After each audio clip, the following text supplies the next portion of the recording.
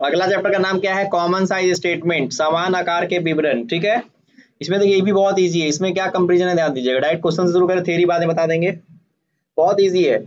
बोलता है from the following information prepare common size statement for the year ended thirty first March two thousand twenty इसमें हम लोग क्या करते हैं? टोटल रिवेन्यू आपका पचास लाख।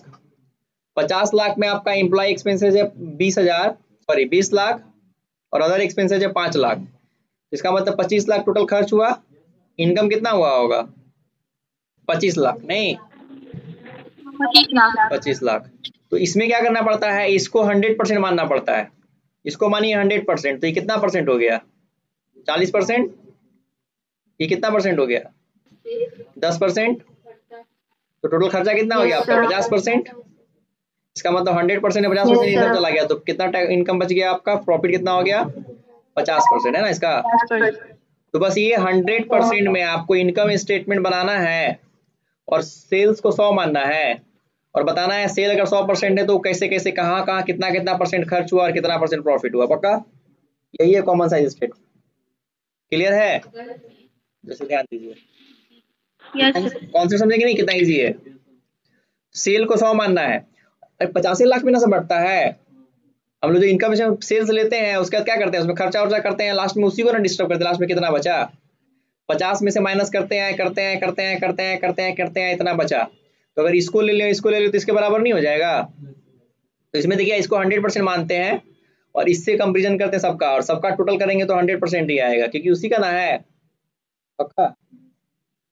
कौन से समझेगा नहीं, कौन से समझे? चलिए। तो ध्यान दीजिए, पहले हम क्या करेंगे? इसमें बोल रहा है from the following information prepare common size statement for the year ended thirty first March तो एक नॉर्मल स्टेटमेंट बनाएँगे और कंपेरिजन कर देंगे। देखिए common size income statement for the year ended ये जो नॉर्मल है आपका, वही नॉर्मल है ये वाला। एब्सोल्यूट अमाउंट मतलब एक्जेक्ट अमाउंट क्या है? रेवेन्यू फ्रॉम ऑपरेशन पचास लाख है लेस एक्सपेंसेस किए टोटल एक्सपेंसेस आ गया प्रॉफिट बिफोर टैक्स आ गया। तो अगर इसको लाइन को हटा दे रहे हैं तो ये क्या है? इसको हटाने के बाद ये क्या है आपका? नॉर्मल नॉर्मल स्टेटमेंट है। है? नहीं है नॉर्मल स्टेटमेंट yes, अब क्या yes, किया सेल को मान ली हंड्रेड परसेंट तो ये कितना चालीस परसेंट कैसे आया? पचास लाख में बीस लाख मेरा खर्चा है। पचास लाख में जब सेल पचास लाख है तो मेरा एम्प्लॉय एक्सपेंसेस बीस लाख है। मतलब सौ में कितना? यही ना? वाट तो वाट इक्वल टू क्या आएगा? बीस lakh into hundred divided by शरीर भारी और वज़न कम है? ऋषभ पाँच लाख में दस लाख? कितना होगा? चलिए तो कितना हो गया? ध्यान दीजिएगा। तो इसको काटेंगे तो कितना आएगा? चालीस। चालीस परसेंट। पक्का? क्लियर है? तो बोल इसमें यही बताना चाह रहे हैं पाँच लाख। तो ये कैसे निकाले? समझ में आ रहा है। यहाँ पर क्या फॉर्मूला लग रहा है?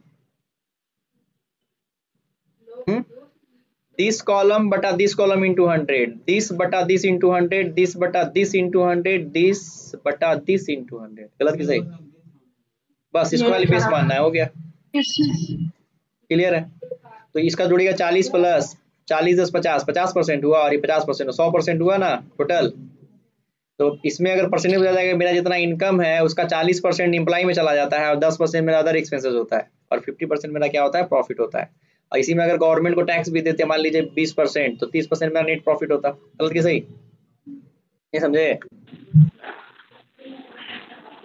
पक्का? तो चैप्टर कैसा लगा आपको? इजी तो लग भी करेगा? दिमाग नहीं लग रहा है। अच्छा दिमाग लगेगा तो?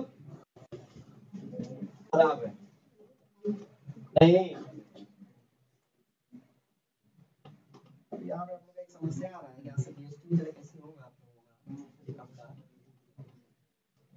सबसे एडजस्ट करना समझ में आ गया कॉमन सेंस स्टेटमेंट क्या है इसमें क्या करना होता है इनकम को बेस बनाना होता है हाँ? और बताना पड़ता है वो जो सौ परसेंट मेरा इनकम हुआ इनकम को हमने कैसे कैसे डिस्ट्रीब्यूट किया कहाँ कहाँ गया इनकम तो हंड्रेड परसेंट मेरा इनकम हुआ चालीस परसेंट एम्प्लॉय में गया दस परसेंट अदर एक्सपेंसेस में गया टोटल एक्सपेंस मेरा पचास परसेंट हुआ और माइनस करने का इनकम कितना आ गया? फिफ्टी परसेंट बन गया क्वेश्चन तो अगर जो नॉर्मल स्टेटमेंट नहीं पढ़ा है, उससे ना तो कंपैरेटिव स्टेटमेंट बनेगा ना कॉमन साइज़ स्टेटमेंट बनेगा क्योंकि बेस तो वही है। पता इसका मतलब है कि वो चैप्टर अपने आप में बहुत इंपॉर्टेंट था। नहीं? चलिए, अगला क्वेश्चन बोलता है from the following information prepare a common size profit and loss statement revenue from operation employee benefit expenses other expenses पक्का? इजी दिख रहा है कि बन गया? Yes sir yes sir yes sir two का B from the following statement of profit and loss for the year ended thirty first March two thousand eighteen and nineteen बोलता है prepare a common size statement दो साल का बनाना है तो चार column हो जाए कोई दिक्कत थोड़ी है? दोनों का अलग अलग समझ दो क्वेश्चन है पक्का? इसका, इसको इसको हंड्रेड परसेंट मान के एक कॉलम बना लेंगे, इसको हंड्रेड परसेंट इसके लिए एक कॉलम इसके लिए एक कॉलम पक्का? दोनों का मेजर कर देंगे। इसमें इसको हंड्रेड परसेंट मान लेंगे, इसको इसको हंड्रेड परसेंट मान लेंगे, पक्का? हाँ यहाँ पे देखिए अदर इनकम भी है। ध्यान दीजिएगा। इसमें क्या होता है? एक मिनट नोटिस कीजिएगा। अदर इनकम है ना? तो नोटिस कीजिएगा यहाँ पे क्या होता है। कहीं कहीं क्वेश्चन में क्या करता है? इसको हंड्रेड परसेंट मानता है और कहीं कहीं पर इसको हंड्रेड परसेंट मानता है। क्लियर है?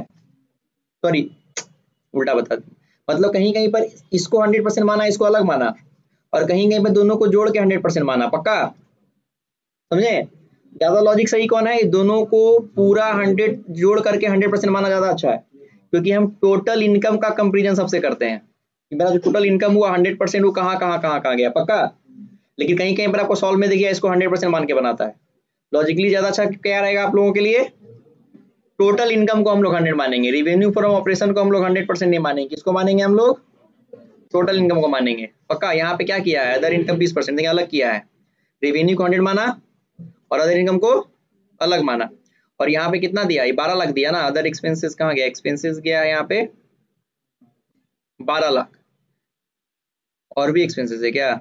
नहीं, बारह लाख। इसको माना है फिफ्टी परसेंट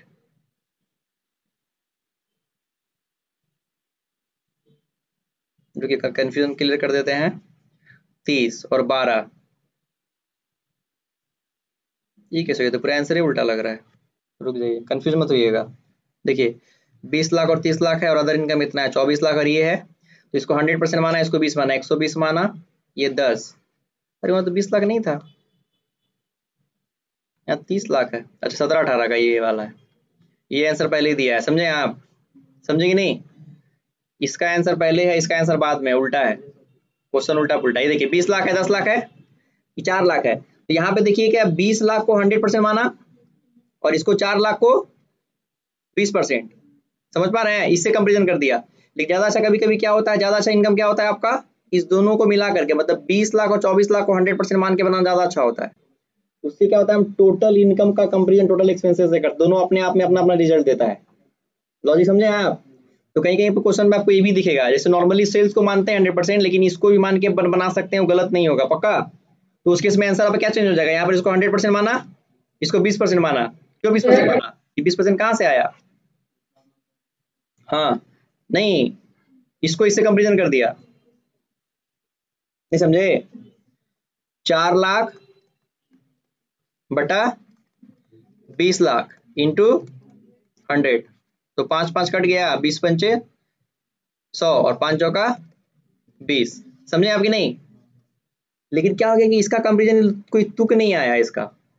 बनता तो है, लेकिन कहीं कहीं पर अगर इसको मान लीजिए बीस और चौबीस चौबीस लाख को अगर हम हंड्रेड परसेंट मान के बनाते तो मेरा आंसर अलग आता। चौबीस लाख को हंड्रेड परसेंट मानेंगे तो इसका कंपेरिजन किससे करेंगे हम? चौबीस लाख से करेंगे। बाकी टैक्स का कंपेरिजन उससे करेंगे, पक्का? तो दोनों ट्रेंड में चलता है। आपको दोनों में से कोई गलत नहीं है। कहीं पर बना हुआ दिख रहा है तो ऐसा मत सोचिए आंसर आपका गलत है। इसमें क्या किया है? रिवेन्यू फ्रॉम ऑपरेशन को बेस माना है।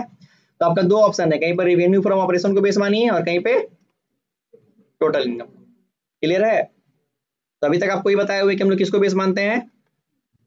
रेवेन्यू फ्रॉम ऑपरेशन को। लेकिन अगर टोटल इनकम को बेस मानेगा तो वो भी गलत नहीं होगा। आप क्वेश्चन उस तरह से भी सॉल्व कर सकते हैं। कहीं पर होगा तो ये मत सोचिए गलत है। वो भी चलता है। क्लियर है? आप लोग समझ पा रहे online yes sir yes sir yes sir confusion नहीं ना हो रहा है?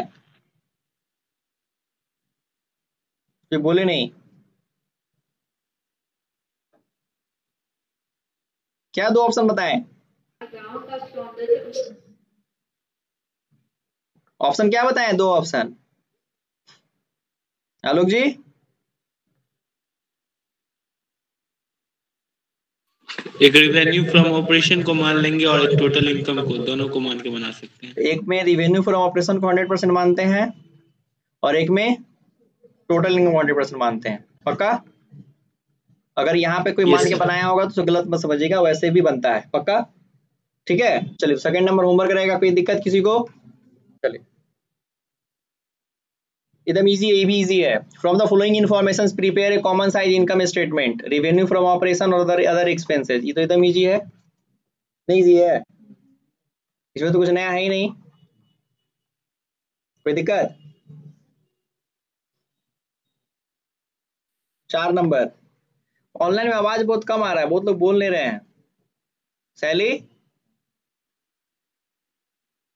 Yes. फिर एक बार लगता डांटना पड़ेगा नहीं बोलना शुरू कर सब फिर चुप लग सब चुप लगा दे रहे हैं। कुछ क्यों नहीं बोलते हैं आप लोग? problem. रितु चौधरी साइमा साइना।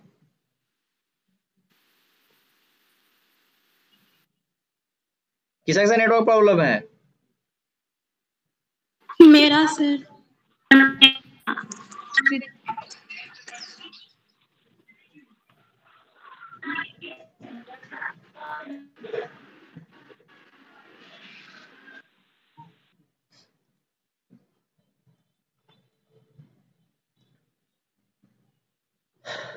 क्या हो रहा है? हाँ किसा सा नेट प्रॉब्लम है? आफिया आपका? अभी हो रहा है सर पहले नहीं था। अच्छा चलिए जिसका से नेटवर्क प्रॉब्लम होगा बोलिएगा ठीक है? आपका? आलोक जी? नो सर ठीक है मेरा। वाह बच गए। अर्चिता? Problem? तो हटा दें यहाँ से। देखो डॉक्टर बोला डॉक्टर के पास गया बोला सांस लेने में प्रॉब्लम आ रहा है। बोला चिप दो। चिप दो। गर्दन चिपने से होगा सांस का प्रॉब्लम होगा। संध्या सांस ले रही है। आपका नेटवर्क प्रॉब्लम नहीं ना है? बंद कर ली मुँह। संध्या?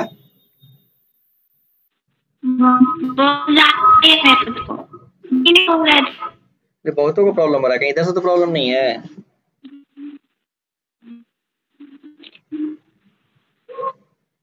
सर बीच बीच में रुक के रुक रुक के आने लगता है। हाँ हाँ रुकिए। हम एक लॉग आउट करके. लॉग इन करते हैं।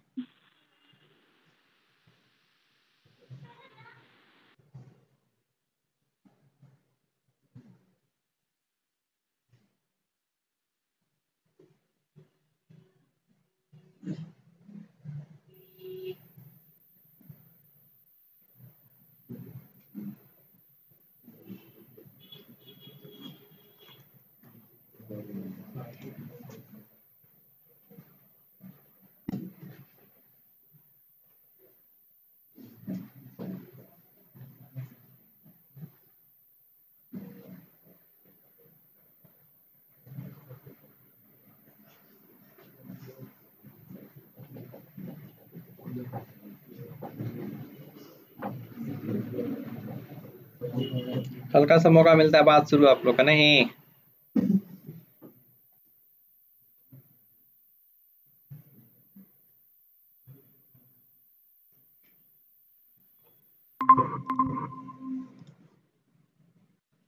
अब आवाज़ कैसा आ रहा है आप लोग को? ठीक आ रहा है सबको?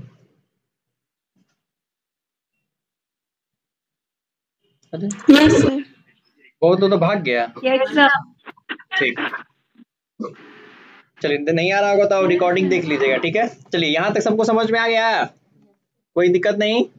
चार नंबर में सेल्स था कॉस्ट ऑफ़ गुड सोल्ड था administrative selling expenses H W कोई दिक्कत?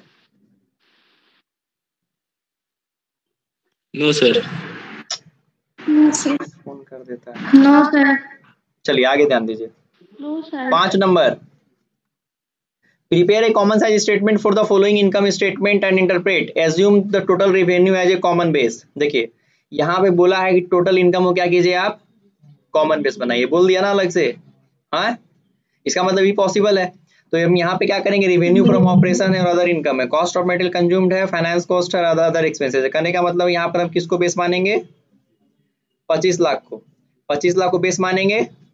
जैसे ना, अस्सी परसेंट माने। इसको बीस परसेंट। तो टोटल रेवेन्यू कितना हो गया आपका? हंड्रेड परसेंट अब यहाँ से कंपेरिजन करेंगे हम। तो टोटल एक्सपेंस कितना हो गया? पंद्रह, पाँच, बीस और दो, साढ़े बाईस। तो पच्चीस लाख का साढ़े बाईस कितना होगा? नब्बे परसेंट होगा ना। पंद्रह पाँच बीस, दो बाईस बाईस पचास। बाईस पचास इंटू हंड्रेड डिवाइडेड बाई पच्चीस नाइन्टी परसेंट ठीक है? क्लियर है? तो कहने का मतलब यहाँ पे दे ही दिया, अलग से कंफ्यूजन क्लियर कर दिया। हाँ? ठीक है, जब एज्यूम करने नहीं दिया जाएगा तो नॉर्मल आप क्या कीजिए क्वेश्चन में रिवेन्यू फॉर्मेशन बनाइए, जब बोल दिया गया तो यही करेंगे। टोटल रिवेन्यू क्या करेंगे हम? बेस बना लेंगे। ये भी पॉसिबल है, ये भी अच्छा इन्फॉर्मेशन देता है। कोई दिक्कत? बन जाएगा? No, sir. Yes, sir. No sir yes sir yes sir इतना कॉन्फिडेंस से बोलते नहीं बनेगा नहीं? यस सर यस सर उसमें भी बोलती है। नेटवर्क प्रॉब्लम में बहुत खराब हो जाता है नहीं कभी कभी ज़्यादा हो जाएगा पाँच टू क्वेश्चन बहुत ज़्यादा हो जाएगा ठीक है? काफ़ी है? हाँ? Yes, sir. कोई दिक्कत है ना कोई? यस सर कोई दिक्कत है?